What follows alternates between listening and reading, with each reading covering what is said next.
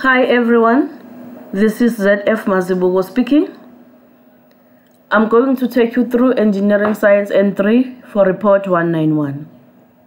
Today we're going to do Module 4, which is friction.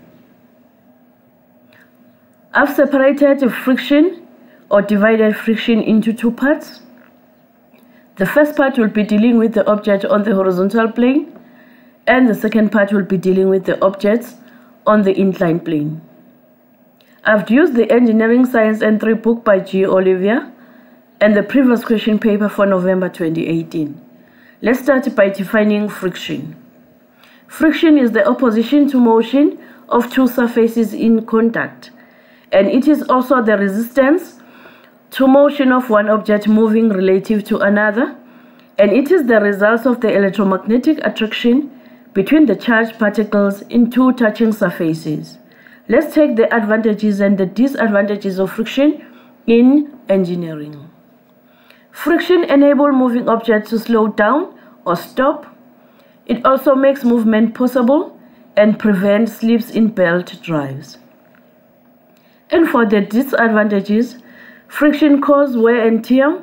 It also causes heat generation and causes a need for more force and more power. How do we determine the coefficient of friction? When a force is applied to pull the block, as soon as the block starts to move, a reading will be taken on scale. This reading, together with the weight of the block, is used to calculate friction using the formula mu equals to the frictional force over the normal force or over the weight. The angle of friction is the angle between the resultant and the normal reaction. And the angle of response or repose is the largest angle between the inclined plane and the horizontal before a body starts to move.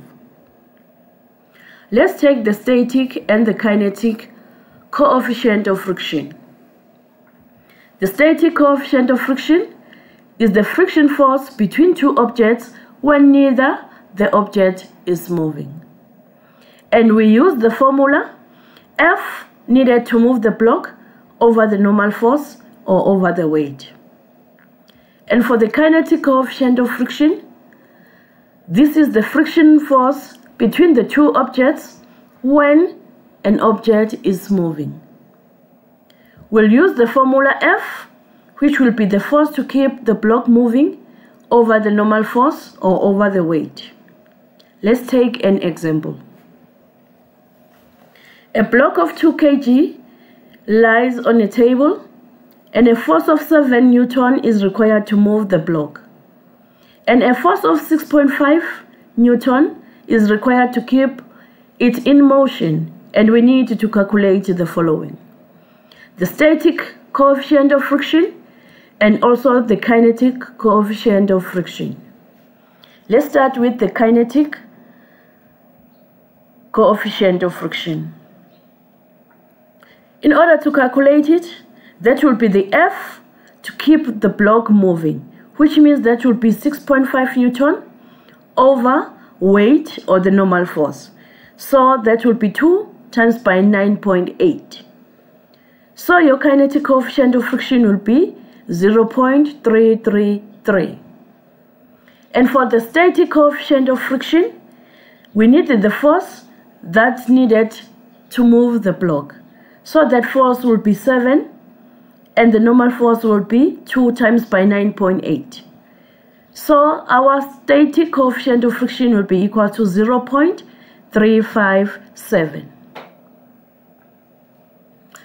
Derivative of formulas in a horizontal plane. If you got an object that is lying over the table, that object is having the forces around it even if it's not moving. We've got the normal force that is opposed by the weight that is going down. And if your force applied is applied towards east, your frictional force will be opposing towards west. If your applied force is towards west, it means your frictional force will be towards east. Your applied force will be equals to your frictional force. And the normal force going up will be equals to the weight going down. And from the formula mu equals to Fu over Nr, we can get the formula to calculate the frictional force, which will be equals to mu times by the normal force. Using this formula, you can answer any questions that you'll be asked for this diagram. If they need you to calculate the magnitude of Fa, you just substitute Fa instead of Fu and you will get the magnitude of Fa. If you need the magnitude of weight, you'll just substitute it instead of Nr, then you'll get the magnitude of that weight. Let's continue. Let's say now we are moving or pushing these objects in a horizontal surface. Your force applied will be making an angle with the object. So you will have FA and an angle. And you will be needed to construct such that you will get a triangle. How do we do the construction? You've got two methods. The first method, you can use FA as your resultant force. So if FA is your resultant force, you can use head to tail method. FA will be the force that started where all forces start and ends where all forces ended. So it means you will draw or construct your vertical component or your vertical line going down and your horizontal line going towards the end of your resultant force. The second method, you can use FA and use its direction. So if the direction of FA is southeast, so it means you'll start from where FA started going down towards south and going towards east. Now we'll have the vertical line and the horizontal line. And that vertical line will be your vertical component and that horizontal line will be your horizontal component. Now how do we get the magnitude of the vertical and the horizontal component? We use the tr three trig ratios. This side, which is the vertical component, is opposite to an angle. So we need to get the trig ratio that we'll use, FA as the hypotenuse side and the opposite side. And that trig ratio will be sine theta. So now the magnitude of this vertical component will be FA, the sine of theta. And for the horizontal component, we'll find the trig ratio that is using, sorry, the hypotenuse side and the adjacent side. So that will be your cos theta. So the magnitude of this horizontal component will be Fa, the cos of theta. Now we have to derive the formula to calculate the magnitude of the force that will push this object along the horizontal plane. We'll be taking the sum of the vertical component and the sum of the horizontal components. If we check our horizontal component, we have Fu towards west and Fa the cos of theta towards east. These are the parallel forces and also we can take them as the, the sum of the horizontal components. So your Fu will be equal to Fa the cos of theta. Then let's check the forces in the vertical line. Those forces, we call them the vertical components. Your NR is moving towards north and FA is the sine of theta. Together with the weight, they are moving towards south. So your normal force will be equals to weight plus Fa the sine of theta.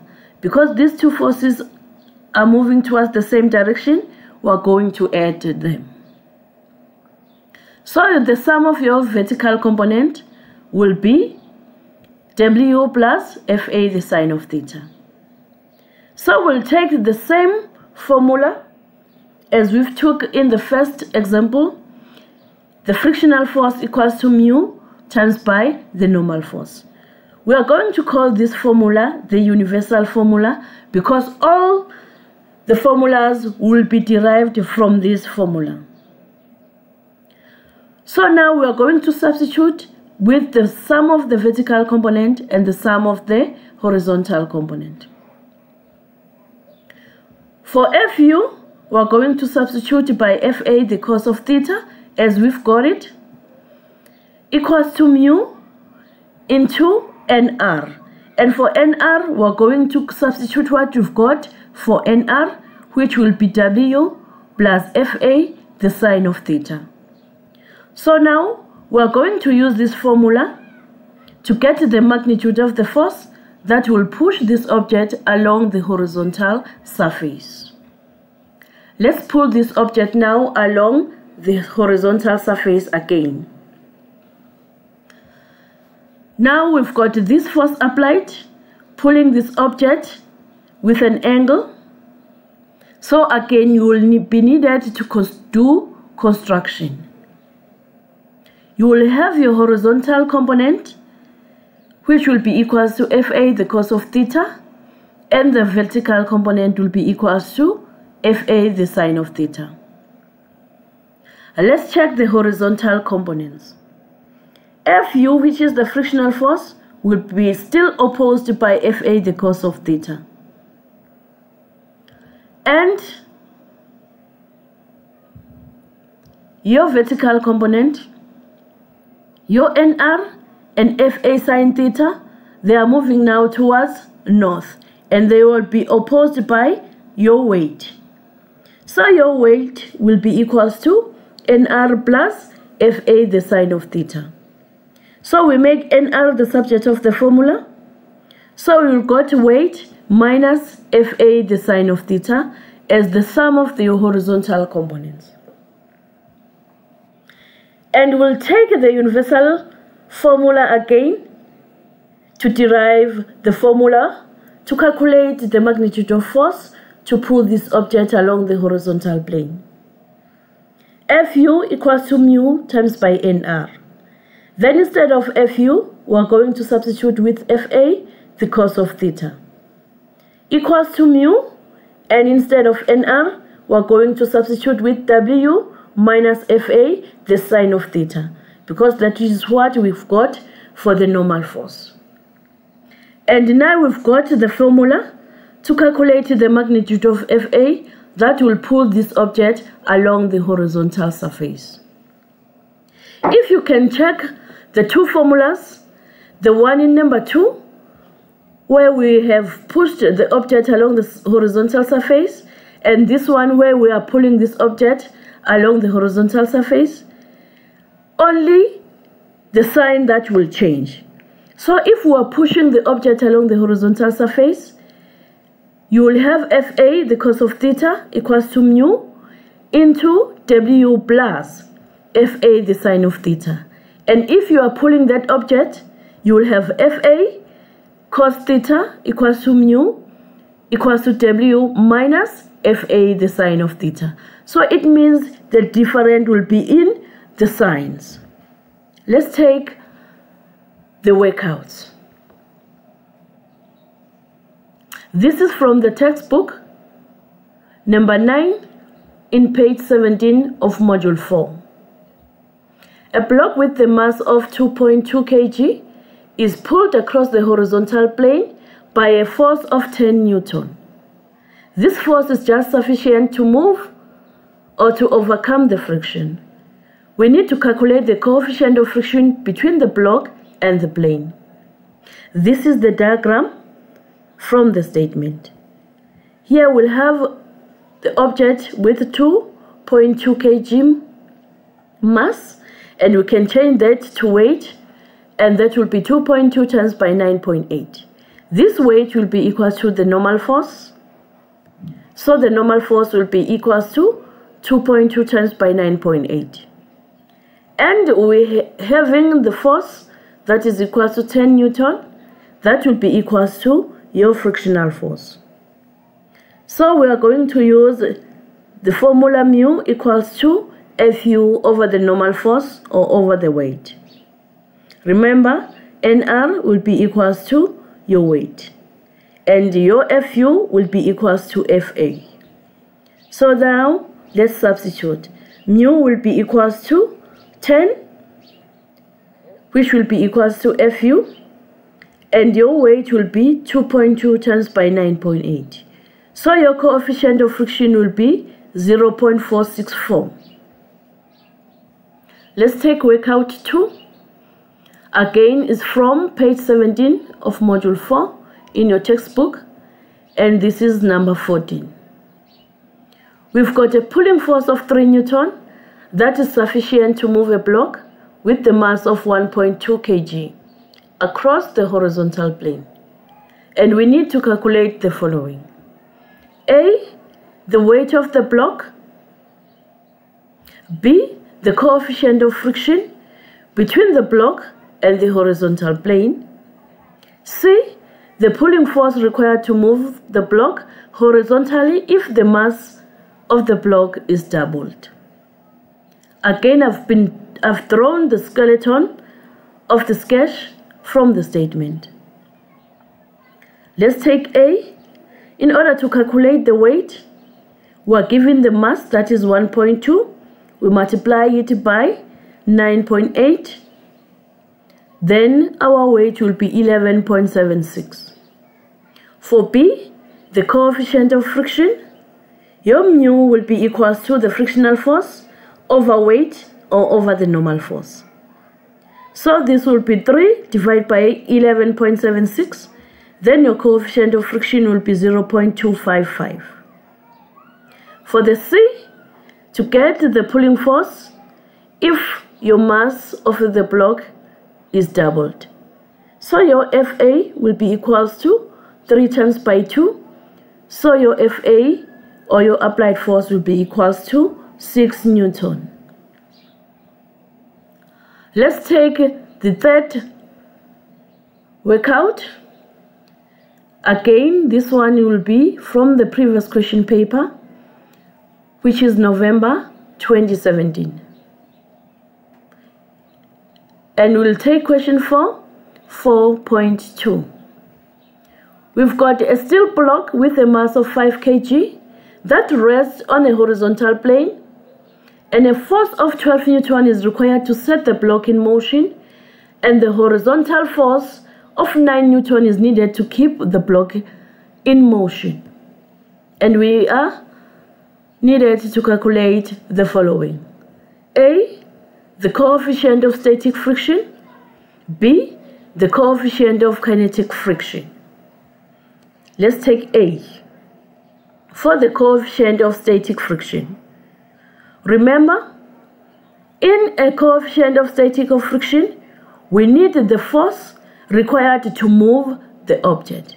So that force will be 12 and we'll divide it by the weight that is 5 times by 9.8 so your coefficient of static friction will be equal to 0.245 and the coefficient of kinetic friction will be the force needed to keep the body moving which is 9 divided by the weight then your answer will be 0.184.